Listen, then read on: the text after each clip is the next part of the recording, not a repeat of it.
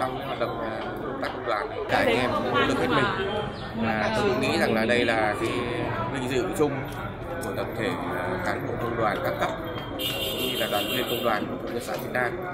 và chúng tôi coi đây là cái niềm khích lệ